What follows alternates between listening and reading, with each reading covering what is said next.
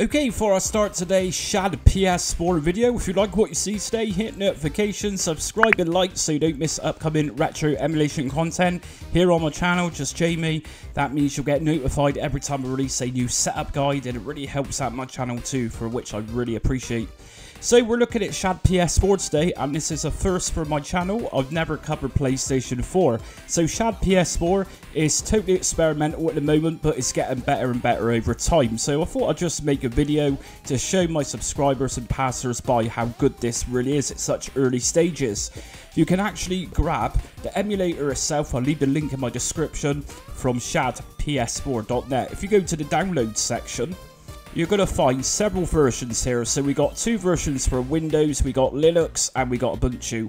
So the version I'm using today is the Qt version of this for Windows. So the Qt version is going to give us a GUI, so a little bit more to look at, whereas the regular version just here isn't going to give you that. So I've downloaded the Win64 Qt version, and here it is on my desktop. So if I just open this up, you'll download, like I have, a zip folder.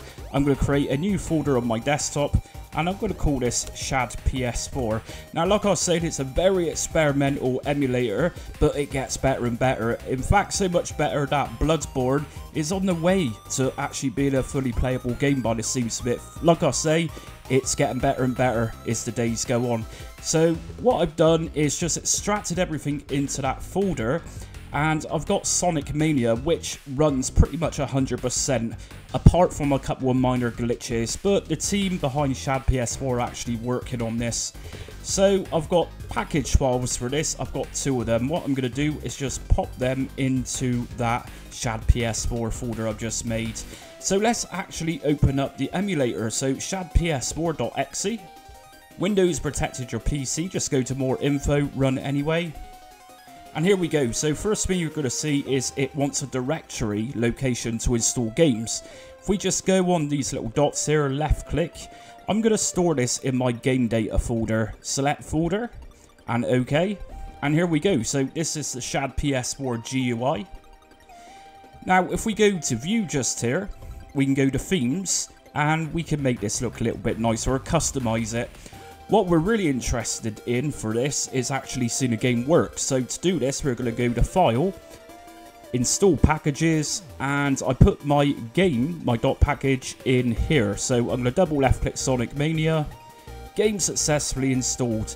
Now I've also got another package file to go with this, which is an update for Sonic Mania. So again, File, Install Packages, and this time I'm going to select the update file. Patch detected, okay, yes. And here we go then. So if I just boot up the game just to make sure everything's working, so I'm going to left click on it and then go to the play button.